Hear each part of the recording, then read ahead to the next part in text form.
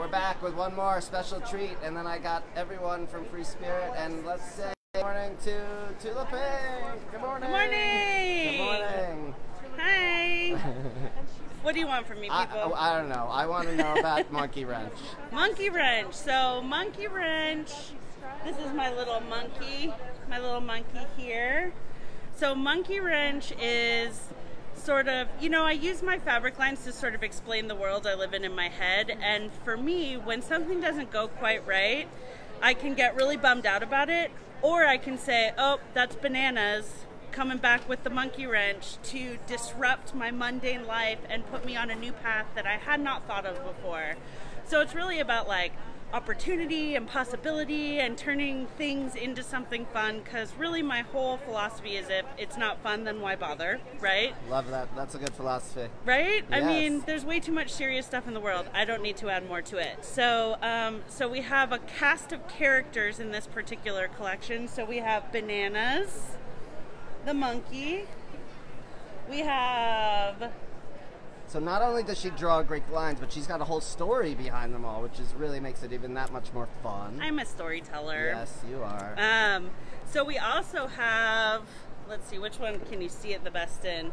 So we also have Banana's two best friends, Buttercup and Hiccup. And they're like, you know, angels and devils that sit on your shoulder, only these are two parrots who are both driving you towards trouble because that's where the most fun is. And then there's hidden in the spots, there's little spotted ladybugs. There's six different frogs in this print. There's some cute little nanners, Oh God, I, I didn't notice the frogs until now. Oh, good. Thanks for paying attention, Scott. I appreciate that. Um, and then one of the things that you'll find is every so often, not every time, there's a little tiny wrench in the monkey's tail. But it's not on every monkey because you never know when it's coming, right? Yep. But there are at least two in each fat quarter, no matter how it's cut. Okay. So there is that. So this is the whole line, and then you know, you make these whole quilts, and you have all this stuff on the front, and you really need something just as fun on the back. So we have giant bananas. Right. Are you paying attention? Yeah, I'm just trying to tell him to lower his voice so they could hear you. So we have Go away. giant very bananas. So the little bananas in the fabric are called Don't Slip. And the giant banana 108 inch wide cotton sateen backings are called Seriously Don't Slip. Because they're very serious bananas. Um, and we've used the bananas in a bunch of ways. We have made a ton of quilts, we have cut goods, we have kits, we have all kinds of stuff. Super excited about it. While we're here, can you show how the? Because I mentioned before when we toured the Free Spirit booth how the um, ladybugs ombre. Yeah, so 'Cause the I think that's cool, and you your can tall could reach up there. Yeah, you can see it really good up here. But when you see this particular print on a bolt, you just get the two inches, and as you unroll the bolt, the ladybugs actually ombre rainbow across the fabric. Yes. So you can use them, and in a couple of quilts, I've used them whole, where you get all the rainbows, and then some of the quilts I've used them where I fussy cut them down so that you get one block that's all pink ladybugs, one that's all red ladybugs. You can kind of see that over here. Follow me. Okay. Here, check it out. We got. I mean, look how she just decorates it. You know, just like Anna, just so detailed. Look, they had this fabric printed for the chair. So awesome. So, like on this quilt here, I've actually isolated the different colored ladybugs and made entire blocks out of one color. And then in the border of these quilts, I've left them whole so you can see how the rainbow stretches across. Genius. Love it. Awesome.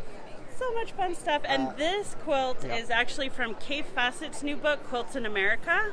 It's a starburst pattern using monkey wrench. And look, she even has monkey wrench suitcases. I mean, it's just there's no detail left unturned. How about let's talk about your kits Okay. Yeah. Yeah. so and then the thread. You want to get that in? sure. Yeah, that'd be Yep, great. Yep. So this kit is called Tula Sunrise. Um, a take on Tequila Sunrise. Also trouble and fun, Yes. right? So we packaged the kit this way because there's like I don't even know, like 50 fabrics in this kit. So trying to hunt those all down yourself or or kit it in your own shop would be a total nightmare. So we packaged the kit, we put it in a bag this time, which is nice. It's kind of a cool like reusable project bag, but also easier to ship. Um, and it's an English paper piece kit. And so it comes with all the papers. Wearing like crazy. I know, I'm sure. Yeah, yeah. All the papers, plus all the fabrics to make the front and the binding, with a little extra for fussy cutting. And then we've paired it with a thread kit because with English paper piecing, for me, the most important element is matching your thread to your fabric because it's not about being a perfect sewer, it's about perfectly hiding your mistakes.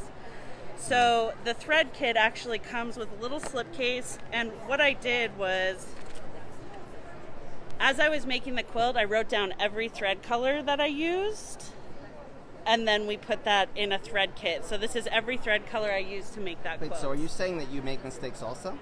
No, Because our definitely not. quilters are always trying to be perfect. I'm trying to be sensitive for other people. Oh my gosh, I only make mistakes. I feel like I do nothing but make Everyone goes crazy trying to make things perfect, and that you know they're dragging on finishing I the will project. say, uh, striving for perfection is very admirable and incredibly boring, in my opinion, and time consuming. and time consuming. And I have a lot of live PD to watch, so I don't have time to reach for that perfection. It's just way too much effort. What are you watching these days, Tula? Oh, anything. anything that's on because I never look at it because I'm always hand sewing. All right. Anything else you want to cover? Do you want to talk about how the Yeah, old old works with yeah. the new, or So one of the things uh, that I did this time, because I talk about this all the time about how each of the fabric collections sort of transitions into the next one, and one of the things that I did this time was actually show it. So what this is is I made my own little waterfall cap sets that show Pinkerville and Monkey Wrench combined. So this is what the two lines look together look like together. And then if you add in the dot stripes and solids, you have a really, really robust selection of fabrics that can make just about anything in the world. so Tula's mom was a shop owner, and this Yes. is where Tula got a lot of this these ideas, which are, are great for shop owners because each line works with the next line, which is fantastic. You know, so it doesn't become old fabric; it just So what it's I refreshed. Thank you. So what I try to do is, you know, from working in my mom's shop for 10 years, um, one of the things that I know for sure is that every shop owner has a mountain of work to do when a new line comes into their shop.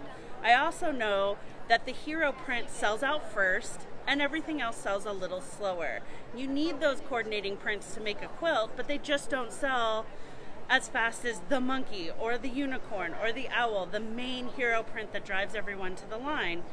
Because the average customer is going to come in and buy a yard, yard and a half, hopefully two yards of the main print, and then fat quarters, quarter yards, third yards of everything else. So it just doesn't sell at the same rate no matter what we do. So the idea being that I always design my coordinating prints so that they work into the next line. So here's Monkey Wrench, the guava colorway with all of the Pinkerville coordinates worked back into it. So if you take those bolts that are left over from Pinkerville and instead of leaving them on their own, work them into the display for the new collection, put them on the same shelf, it now looks, you bought in an 18, 19 piece collection, you work those bolts in, and it looks like you just splurged on a 60 piece collection. It's robust, it's exciting, it's a huge, dense, detailed rainbow, and it looks like you've just brought this very expensive collection into your shop, but you've really only added those 18 SKUs or 19 SKUs. Fabulous. So- Tell us the, the naming. You know, the guava. Like you, you name everything after fruits. Well, in this case, I named everything after fruit. Um, it seemed appropriate because he's in some weird alien fruit tree. In my mind, they're pomegranates, but I don't even know if those grow on trees. I'm not a horticulturist, people. I'm an illustrator, but um, but I needed that color in there, so I put all the fruit in the trees. And then there's the bananas. So this is called this colorway is called dragon fruit. The sort of periwinkles this colorway with all the blues and greens, which if you know me well, you know this is my neutral. Neutral to me is blue and green. Um, so this one's called guava. And speaking of pomegranates, check, I, I gotta tell you, Tula has the best. Out, I mean, she just does the, the whole thing. She just got the whole package and the clothes. The, the, I mean, it's just amazing. I'm really committed. It's really inspiring. Very committed. Yes, and then and this that's one's why we called love Mango. You, Tula. Give. Tula some hearts, guys. Come on. Thank you. Right. Please, hearts, love me. Yeah. I require validation at all turns. so do I. All right.